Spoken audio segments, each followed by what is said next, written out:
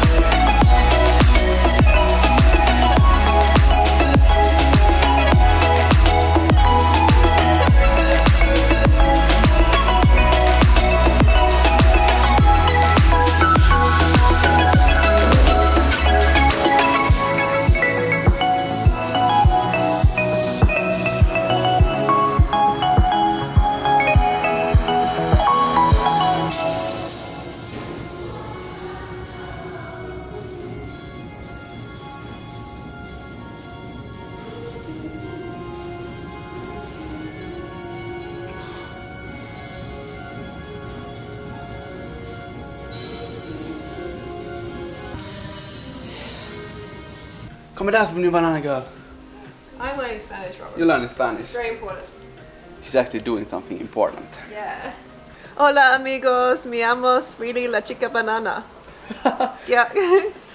¿Cómo estás? Okay guys, so here we have like a standard dinner salad. It's a little bit too small today because we didn't have a lot of lettuce, but it's containing of mushrooms, zucchini, some raw sweet corn, a little bit of onion, and there's some basil in there too, and the base is like butterhead lettuce. You can have any lettuce you want. And this makes me feel really good. It's a lot of protein. Yeah. What? You eating my lettuce. I'm eating her lettuce. It's a competition. That's okay. You can have it. Home here, yeah. She loves her lettuce. Yeah, it's a lot of protein, a lot of fat.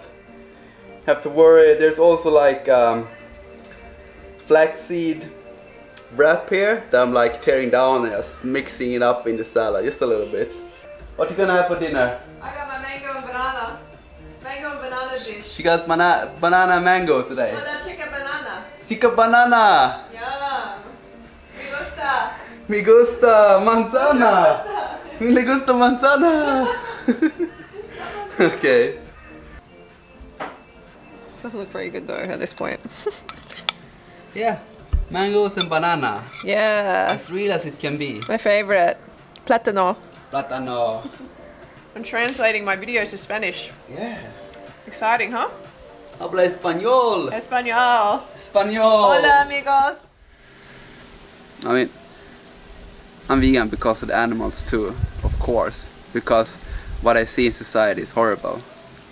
But I try to keep that a separate thing from from the nutritional point of view. Like I, I, I cannot have like a statement to say like meat are unhealthy because animals are treated in a bad way. That doesn't make make any sense for me. But to eat animals is bad because animals are treated bad. That that's valid for me because it has to do with ethics and moral and doing the right thing, like from my own values, like ethics and morals. You know, it's always personal.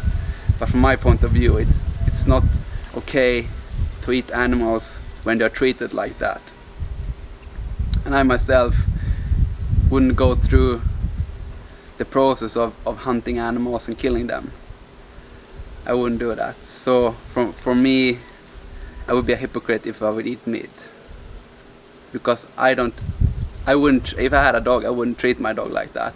And if I had my own pigs I wouldn't treat my pigs like that.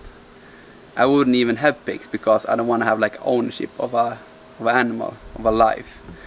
I want to see them as like self sovereign life you know? They have their own life to live. It's not it's not up to me to decide what they're gonna do with their life and where they're gonna be and when they're gonna die. So there's there's two sides to it. And veganism like it takes both of those. I mean it's come to be more about the nutrition like in uh, in the media but it's still a lot about like ethical thing and you know ideology. How you how you treat others that's really important. So like for me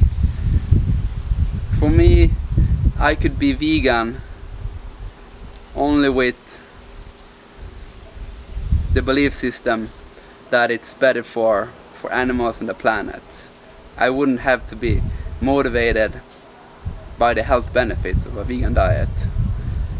But before I understood this I had to because I was so I was so focused about that animal lives you know that's what they're they're here for. They're here for for my enjoyment and to make me healthy like I eat them and stuff. So I, I was so so focused about that opinion that I couldn't go out of it. It like the, the, the only thing that could take me out of it was like the, the health benefit.